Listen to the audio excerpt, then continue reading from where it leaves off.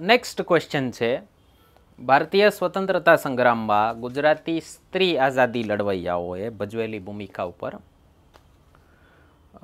મતલબ Gujarati women freedom fighters in Indian freedom struggle તો એક સૌથી પહેલું નામ યાદ આવે છે ઉષાબેન મહેતાનું. આઠ વર્ષની ઉંમરથી આઝાદીની લડાઈમાં લાગી ગયા હતા. સાયમન ગોબેકવાળું એમનું પહેલું આંદોલન હતું. પછી સિવિલ ડિસોબિડિયન્સ મુવમેન્ટ. સવિનય કાનૂન ભંગ આંદોલન જે હતું એમાં અંગ્રેજોએ એક નિયમ કર્યો હતો કે મીઠું ફક્ત અંગ્રેજી સરકાર જ બનાવી શકશે. તો ગાંધીજીએ ત્યારે આહવાન આપ્યું હતું લોકોને કે અંગ્રેજોને આ જ્યાં પણ મીઠું હોય ત્યાંથી જઈ અને ચોરી આવો અને પછી વેચો બજારમાં. તો એ કામ પણ આપણે કર્યું હતું ઉષાબેન મહેતાએ. અને સિક્રેટ કોંગ્રેસ રેડિયો એક ચાલુ, ચલાવ્યો હતો ભારત છોડો આંદોલનમાં, જે છેલ્લું આંદોલન હતું એમાં. બીજું નામ છે કસ્તુરબા ગાંધી. આપણે ભૂલી જ ન શકીએ ક્યારેય કેવડું મોટું બલિદાન હતું એમનું. આફ્રિકાથી લઈ અને ત્યાં પણ ગાંધીજીની સાથે પડછાયાની જેમ ચાલ્યા કંધે છે કંધા મિલા કે આખી થ્રુઆઉટ એમની જર્નીમાં રહ્યા છે સાથે. અને આફ્રિકામાં જેલમાં ગયેલા હતા ભારતમાં પણ જેલમાં ગયેલા હતા. અને કદાચ જો કસ્તુરબા ગાંધીનો સપોર્ટ આટલો ન મળ્યો હોત, તો ગાંધીજી આટલા કાર્યો ન કરી શક્યા હોત. ઓકે જેવી રીતે ગાંધીજી માટે કસ્તુરબા ગાંધી છે, જેમ પડછાયો બનીને ચાલ્યા હતા, એવી જ રીતે સરદાર સરદાર પટેલ માટે એમના દીકરી છે, મણિબેન પટેલ.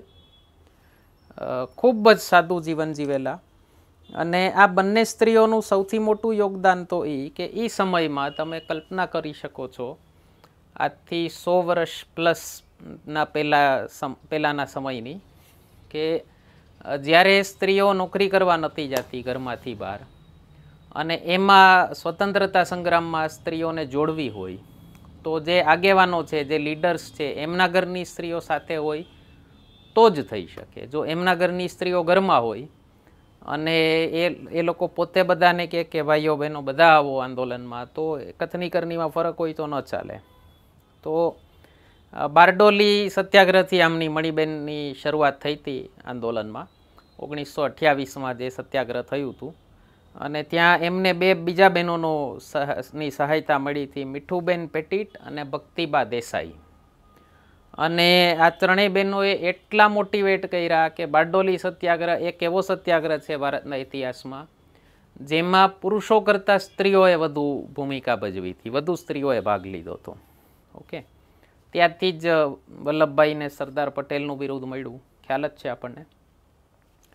એક બીજો સત્યાગ્રહ હતો, રાજકોટ સત્યાગ્રહ. જે ઓગણીસો આડત્રીસમાં, આડત્રીસ ઓગણચાલીસમાં થયો હતો. રાજકોટના એક રાજાની ખિલાફ થયો હતો. તો કસ્તુરબા ગાંધીએ લીડ પકડી હતી એમાં. અને એમની તબિયત ખરાબ થઈ એટલે મણિબેન એમને સાથ દેવા આવ્યા હતા. અને અંગ્રેજ સરકારે એક ઓર્ડર ફરમાવ્યો કે બંનેને અલગ અલગ કરી દો. એટલે શક્તિ ઘટી જાય એ લોકોની. તો એની ખિલાફ મણિબેન પોતે ઉપવાસ ઉપર ઉતરા અને પછી અંગ્રેજોએ ઓર્ડર પાછો ખેંચવો પડ્યો અને સત્યાગ્રહ ચાલ્યો તો, પડતો મૂકવો પડ્યો તો અધૂરેથી. ક્યારેક ચાન્સ મળશે તો એના ઉપર એક અલગથી વીડિયો બનાવશું, રાજકોટના સત્યાગ્રહ ઉપર. મણિબેનની પછીની કરિયર પણ ખૂબ સારી હતી. આઝાદી પછી પણ શરૂઆતમાં કોંગ્રેસમાં એક્ટિવ રહેલા હતા. પછી ઇન્દિરા ગાંધી સાથે ખાટું પડ્યું હતું એટલે કોંગ્રેસના જે બે ફાટા પડ્યા એમાં અલગ પડેલા ફાટામાં જોડાયા હતા, લડ્યા હતા કોંગ્રેસની ખિલાફ. અને પછી જનતા પાર્ટીમાં જોડાયા હતા એમનું છેલ્લી કારકિર્દીમાં. એટલે મતલબ એનો મતલબ કહી શકો તમે કે એક્ટિવલી હતા. આંદોલનમાં પોતાની ઈચ્છાથી હતા એક્ટિવલી હતા. એના પછીનું એક નામ છે ઇન્દુમતીબેન શેઠનું. ઇન્દુમતીબેન ચિમનલાલ શેઠ. એમના પિતાજી ચિમનલાલ બહુ અમીર વ્યક્તિ હતા અને બહુ નાની એજે ગુજરી ગયા હતા. તો એમણે પોતાની એક વિલ કરતા ગયા હતા કે મારો જે પણ પૈસા છે એ બધા શિક્ષણ કાર્યમાં જ વપરાય.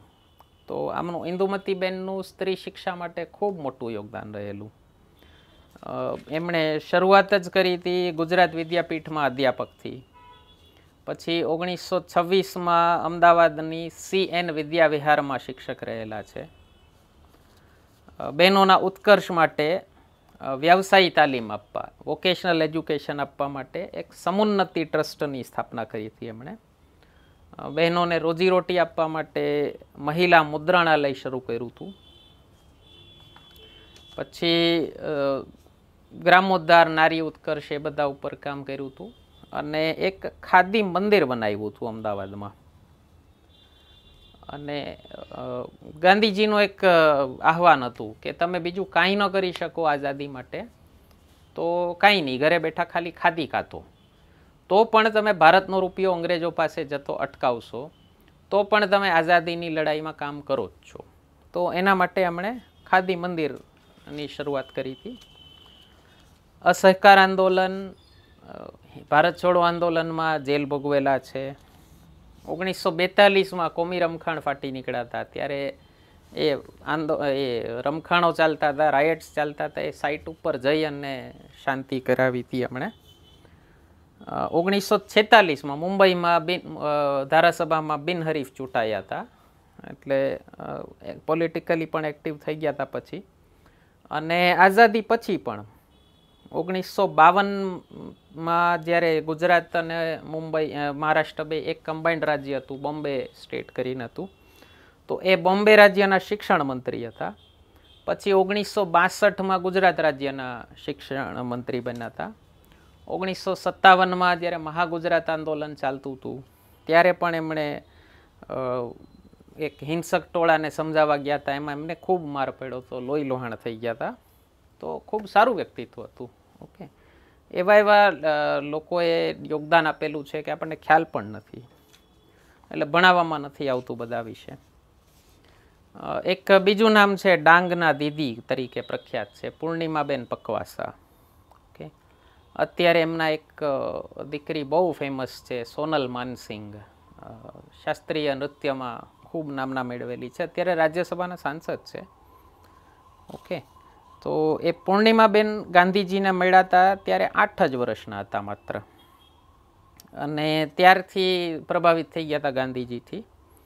તો સૌથી પહેલાં લીમડીમાં એક સત્યાગ્રહમાં એમણે ભાગ લીધો હતો. એના પછી દાંડી માર્ચમાં ભાગ લીધો હતો એમણે. અઢાર જ વર્ષના હતા દાંડી માર્ચમાં ભાગ લીધો ત્યારે. અને ત્યાં જેલમાં ગયા હતા. અને એ જ જેલમાં કસ્તુરબા ગાંધી પણ એમની સાથે હતા. અને ત્યાં પૂર્ણિમા દીદીએ કસ્તુરબા ગાંધીને ઇંગ્લિશ શીખડાવ્યું હતું. પછી કસ્તુરબાએ એમને યોગ અને આત્મરક્ષા સેલ્ફ ડિફેન્સ શીખડાવેલું હતું. ઓકે તો ખૂબ સારી વસ્તુ કહી શકાય. એના પછીનું એક નામ છે પેરિન કેપ્ટનનું. દાદાભાઈ નવરોજીના પુત્રી હતા પૌત્રી હતા. કચ્છમાં જન્મ થયેલો એમનો. ગ્રેજ્યુએશન કરેલું એમણે પેરિસમાંથી. અને પેરિસ ગયા હતા ત્યારે મેડમ ભીખાજી કામાના સંપર્કમાં આવ્યા હતા. ઓકે. અને ઇંગ્લેન્ડથી સાવરકરજી જે, વીર સાવરકર જેમને કહેવાય છે, એમના સાવરકરની જેલમાંથી ભગાડવામાં પણ એમનો થોડોક રોલ હતો. પછી ઓગણીસો દસમાં ઇજિપ્શિયન નેશનલ કોંગ્રેસમાં એમણે ભાગ લીધો હતો સાવરકર અને ભીખાજી કામા સાથે. ભારત પાછા આવ્યા ઓગણીસો અગિયારમાં. ત્યાં ગાંધીજીને મળ્યા એ પેરીનબેન કેપ્ટન. અને ત્યાં પછી ગાંધીજીના વિચારોથી પ્રભાવિત થયા. અને જે પહેલું નોન કોઓપરેશન મુવમેન્ટ જે ગાંધીજીએ ચાલુ કર્યું હતું, અસહકાર આંદોલન ઓગણીસો ઓગણીસ વીસમાં એ એમ કામ કર્યું હતું એમણે. ઓગણીસો એકવીસમાં એક રાષ્ટ્રીય સ્ત્રી સભાની સ્થાપના કરવામાં એમણે મદદ કરી હતી. એટલે એમાં ઇન્વોલ્ડ હતા. ઓગણીસો ત્રીસમાં બોમ્બે પ્રોવિન્શિયલ કોંગ્રેસ કમિટી જે કોંગ્રેસની જે સ્થાનિક કમિટીઓ હતી, દરેક રાજ્યવાર કમિટી હતી, એના અધ્યક્ષ ચૂંટાયા હતા અને પહેલાં વુમન પ્રેસિડેન્ટ હતા એના. સિવિલ ડિસોબિડિયન્સ મુવમેન્ટમાં ભાગ લીધો હતો જેલમાં પણ ગયા હતા, અસહકાર આંદોલન સવિનય કાનૂન ભંગમાં અને પછી એક ગાંધી સેવા સેનાના એ જનરલ સેક્રેટરી, મહાસચિવ પણ રહેલા છે. અને આઝાદી પછી જ્યારે પેલા પદ્મ સન્માન શરૂ થયા ત્યારે પહેલું જ ઓગણીસો ચોપનમાં જ એમને પદ્મશ્રી મળેલું હતું પહેલાં જ વર્ષે. એના પછીનું એક નામ છે ચુસ્ત રૂપે ગુજરાતી ન કહી શકો તમે, પણ આમ ગુજરાતી ભાષા બોલતા જન્મેલા મુંબઈમાં. અને ત્યારે જ્યારે બોમ્બે સ્ટેટ હતું, બોમ્બે પ્રેસિડેન્સી હતી આઝાદી પહેલાં, તો ગુજરાતી બોમ્બે પ્રેસિડેન્સીમાં જ આવતું હતું. આઝાદી પછી પણ ઓગણીસો સાહીઠ સુધી તો બોમ્બે સ્ટેટ જ હતું ગુજરાત. ત્યારે ગુજરાત મહારાષ્ટ્ર કમ્બાઇન્ડ હતા ત્યારે. તો madam Cama, madam Bhikaiji Cama.